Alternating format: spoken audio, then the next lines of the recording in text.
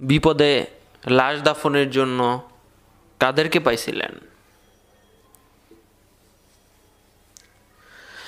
আমি একটু বেশি ইমোশনাল হয়ে যাচ্ছি। আসসালামু আলাইকুম দর্শক। আজকের ভিডিওটা দেখার পরে আপনি কান্নাও করতে পারেন। সুপ্রিয় দর্শক শ্রোতা, বাংলাদেশে কি চলছে আমরা সবাই জানি। ভাস্কর্য নিয়ে কথা বলার কারণে কিছু মানুষজন আমরা আলেম সমাজদেরকে রাজাকার বলে আখ্যা দিচ্ছি, ছোট করে কথা বলছি। পাশে একটা ভিডিও দেখতে পাচ্ছেন। ওনার নাম ফেরদাউস আল আজাদ তিনি ফেসবুকে একটি লাইভ করেছেন এবং অনেক গুরুত্বপূর্ণ কিছু আলোচনা করেছেন। আমরা ভিডিওটা দেখাতে চাই। এই ভিডিওটা দেখে হাজার হাজার মানুষ, লক্ষ লক্ষ মানুষ কেঁদেছে, শেয়ার হয়েছে অনেক। আমি ভিডিওটা আপনাদের সাথে শেয়ার করতে চাই। এমনও লাশের দাফন করেছি। একশো ছেষট্টি জন লাশের দাফন কার্যে সহযোগিতা করেছি চাঁদপুর আমাদের ইসলামী আন্দোলনের টিম। এমনও লাশের দাফন করছি যেই লাশের মা, বাবা, সন্তান কেউ নাই। ঘরের চৌখাটে লাশ ফালায় দিয়ে চলে গেছে। এমনও লাশের দাফন করছি। যে লাশের সন্তান ফোন করে বলছে, বাবার লাশ অমুক ঘরে পড়ে আছে। এসে ব্যবস্থা করে দিয়ে যান। কিছু বুঝতেছেন? আলেম সমাজদের ভূমিকা হুজুরদের ভূমিকা আপনি মারা গেলে তাদেরই দরকার হবে।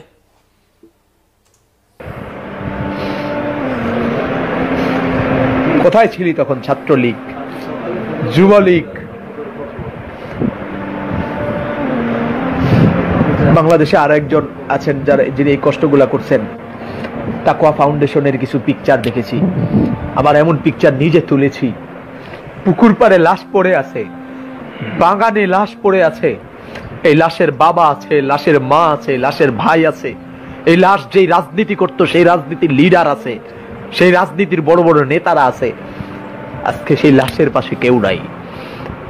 কে দাফন করেছে? কে কবর দিয়েছে? কে গোসল দিয়েছে? এমনও লাশের গোসল এই দুই হাত দিয়া দিয়েছি। গোসল দেওয়ার সময় তার গায়ে একশো আট ডিগ্রি জ্বর ছিল। একশো আট ডিগ্রি জ্বর ছিল গোসল দেওয়ার সময়। কষ্ট লাগছে না কথাগুলো শুনে কান্না চলে আসার কথা। কিসের বড়াই দেখাও তুমি? কিসের বড়াই দেখাও? মারা যাওয়ার পরে কেউ থাকবে না কাছে।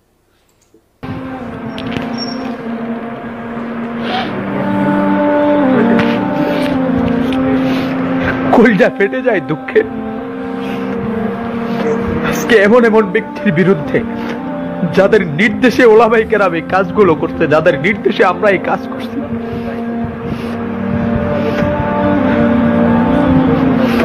তোমাদের নেতারা, আজকে যারা ভাস্কর্যের পক্ষে কথা বলতে গিয়া আল্লামা ফয়জুল করিম আর মামুনুল হক আর বাবুনগরীকে গালি দাও, গ্লাস করা চতুর্মুখী গ্লাস করা রুমের মধ্যে এসি রুমে বসে কোনো কথা বলার প্রয়োজন হইলে কম্পিউটারের মাধ্যমে, মোবাইলের মাধ্যমে ভিডিওতে কথা বলছে, সামনে আসে নাই। কিন্তু প্রতিটা লাশকে কাঁধে করে, গোসল দিয়ে আদর যত্ন করে কবরে রেখেছি। কোনো সেবার কমতি ছিল না। আমাদের ঘরেও তো বিবি আছে। আমাদের ঘরেও তো আমাদের মা আছে। আমাদের ঘরে আমাদের বাবা আছে। কোন বাবা চায় না তার সন্তান অনিশ্চিত ভবিষ্যতের দিকে চলে যাক। দর্শক শ্রোতা, আপনারা কি বুঝতে পারছেন এখানে কিসের কথা বলা হয়েছে? করোনায় আক্রান্ত হয়ে অনেক মানুষজন মারা গেছে। কই? কয়জন মানুষ এসেছিল তাদের দাফন করার জন্য আমরা দেখেছি। কি নির্মম অবস্থা ছিল বাংলাদেশের। তখন কিন্তু কিছু মানুষজন যাদের মুখে দাঁড়িয়ে আছে, তারাই কিন্তু এগিয়ে আসছিল। সঠিকভাবে, ভালোভাবে দাফন কাফন দেওয়ার জন্য। প্রিয়তম, প্রিয়তমা, বিবি চায় না তার প্রিয়তম স্বামী অনিশ্চিত গন্তব্যে চলে যাক। যতটি লাশের দাফন আর কাপনে রওনা হয়েছি, বিবি কিছু সময় চুপ ছিল, নীরব ছিল। জবানে বলতে সাহস করে নাই যে যায় না। কারণ সে জানে সে এমন এক স্বামীর ঘরে এসেছে, যে স্বামী ইসলাম মানবতার ব্যাপারে কোনো ছাড় দেয় না। মানবতার প্রয়োজনে এগিয়ে যায়, ইসলামের প্রয়োজনে এগিয়ে যায়, দেশের প্রয়োজনে এগিয়ে যায়। আরে আমাদের বিবিদের তো আমাদের উপর মহাব্বত আছে। আমাদের সন্তানও তো আছে, সন্তানের উপরও তো আমাদের মহাব্বত আছে। তোরা বের হস নাই, কিন্তু আমাদের সন্তানের মোহাব্বতকে আমরা তালাক দিয়েছি, বিবির মোহাব্বতকে লাচ্ছি দিয়েছি, বাবা মায়ের মোহাব্বতকে বাবা মায়ের জায়গায় রেখে দিয়ে বেরিয়ে গেছি তোদের জন্যে।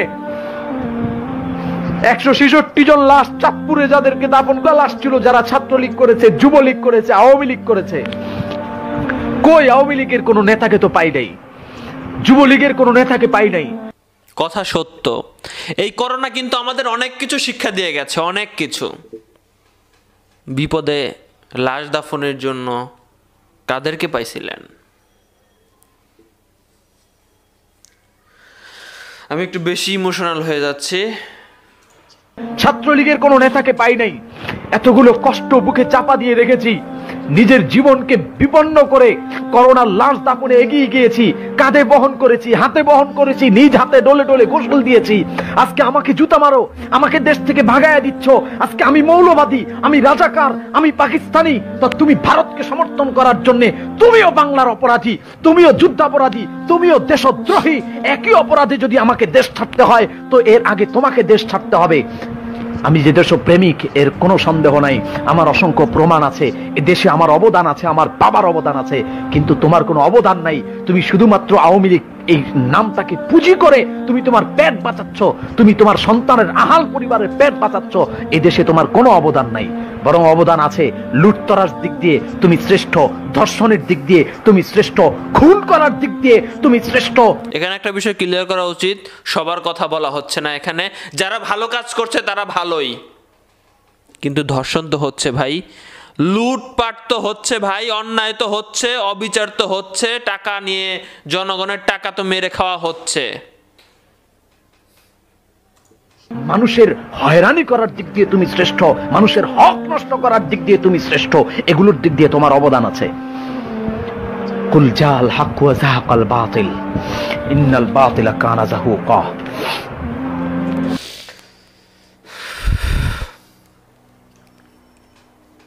বলেছিলাম, আপনাদের চোখে পানি চলে আসতে পারে, পুরো কথা শোনার পরে। পানি এসেছে কিনা আমি জানি না, তবে আমি খুবই ইমোশনাল হয়ে পড়েছি। কথাগুলো সত্যি এবং বাস্তব, আমি আর কথা বলতে পারছি না। যাই হোক, আপনারা ভালো থাকবেন, সুস্থ থাকবেন। পুরো ভিডিওটা দেখার পরে আপনাদের যদি কোনো মতামত থাকে কমেন্ট বক্সে লিখবেন। আমরা কাউকে ছোট করে কথা বলব না, বিশেষ করে যাদেরকে সম্মান দেওয়া উচিত। তাদেরকে সম্মান দিব আমরা। দলের জন্য, তেলবাজিতা করার জন্য, বা যে কোনো কারণেই আমরা আলেম সমাজদেরকে অপমান করব না। এটা মাথায় রাখতে হবে। সরকার পক্ষের যারা ভালো কাজ করছে, তাদের সবসময় আমরা প্রশংসা করি। কিন্তু যারা খারাপ কাজ করবে, সেটার নিন্দা আমরা অবশ্যই জানাব। ভালো থাকবেন, সুস্থ থাকবেন। দেখা হবে একটা নতুন ভিডিওতে। পারলে ভিডিওটা শেয়ার করেন। আল্লাহ হাফেজ।